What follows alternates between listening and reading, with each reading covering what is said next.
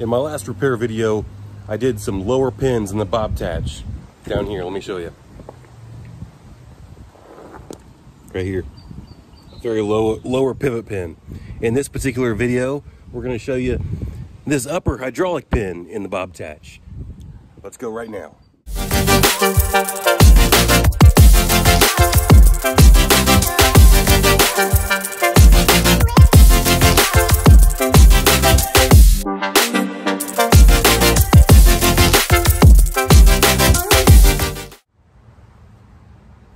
So I'm about to start up the machine and show you the play in the pins.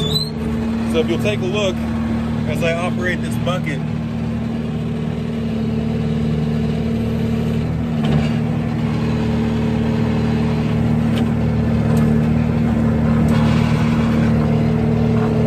see that? You're looking at the hydraulic You're looking at the play in the hydraulic ram. Now that side's a lot more significant than this side.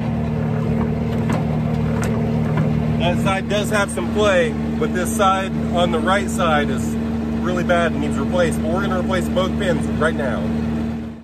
So now this will give you a better idea of how much play is in that pin versus this pin. Now this one still does have some slop in it, but what I did was I evened out the uh, pressure on the pin so that now I can move this freely. So here we go, we got some pins and bushings. Uh, I don't know what we're dealing with until we get it apart, so let's check it out. A hammer here, I'm gonna go ahead and see what happens.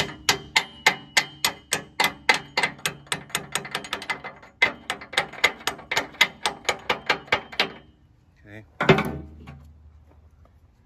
Now I'm replacing this pin, so I'm gonna go ahead and just stick pliers on it and yank it out the rest of the way. Maybe with a little bit, there we go. Look at that. Now, the idea is to hopefully see a lot of wear in this pin because there might be bushings in there and you know, bushings aren't that hard to replace, but I'd much rather just slide a new pin in here for now.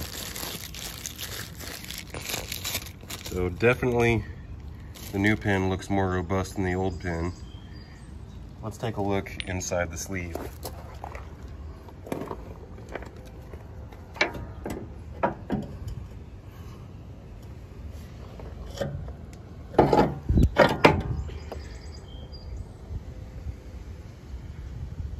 Now, is there a bushing in there? I don't know. We'll have to check it out.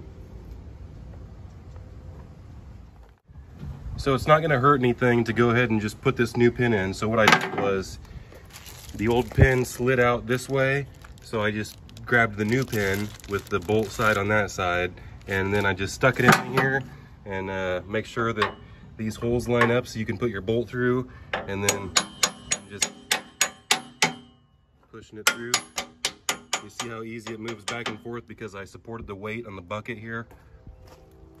All right, I did have to make a slight minor adjustment for this new pin. So that, that is good because that shows me that uh, it's tighter. And it definitely feels tighter, okay? So now let's put our bolt in.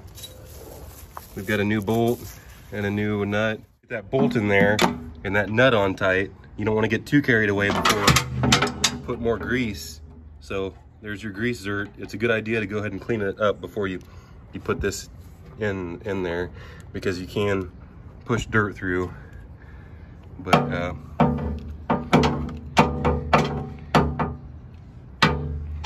pump some uh, grease in there see it coming out the sides there. All right. Now I'm going to start it up and we're going to take a look at the wear. I'm going to take this uh, jack out here.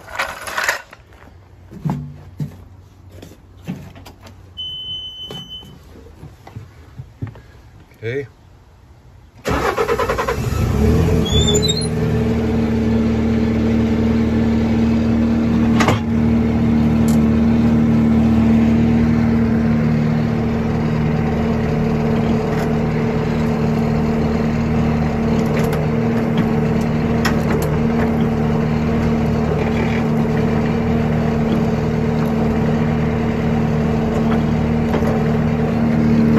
Much better.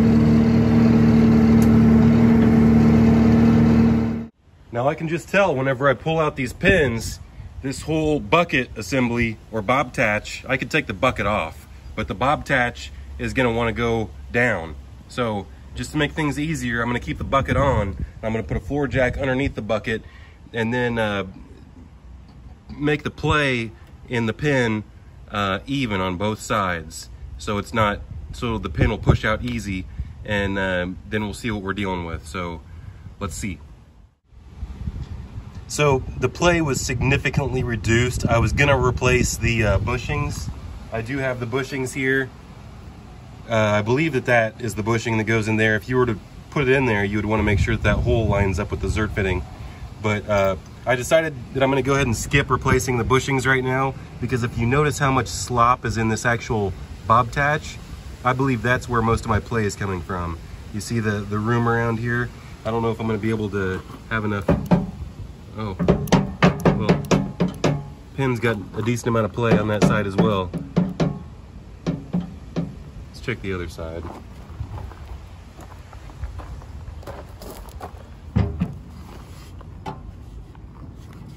Okay, I put a new pin in this side and I can't move this side, so I think I'm gonna put a new pin in the other lower side now.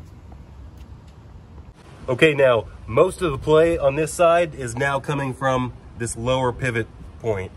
All right, that's, uh, let me see if I can,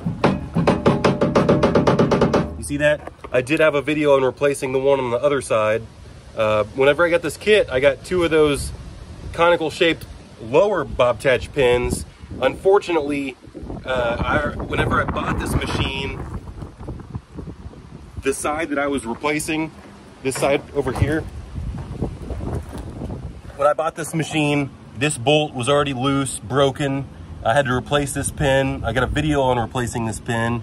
Um, what I did was I put it in with an impact, okay? So what happened was it sheared again shortly after that. And then I put another one in. And what did I do? I, I used a, uh, a torque wrench on that one. And then I torqued it to like 250 foot-pounds. I don't know what the torque spec is, but I torqued it uh, to like as much as my torque wrench would go. Uh, and broke that pin too. So third time's a charm. I uh, I don't know the right way to do stuff or whatever, but I'm a mechanic, so I replaced it with a higher grade bolt, maybe not a shear bolt, I don't know, but um, this one I was able to get even more torque on, and then I was able, that conical pin and the lower bob attach, this one here, I was able to cram it in there really tight, hammer it in there. I mean, you just really have to get that thing tight. I think what was happening while I sheared those pins was I was trying to push it in with the threads. And I think it's a better idea to get that, that conical pin and hammer it in. Down tuner.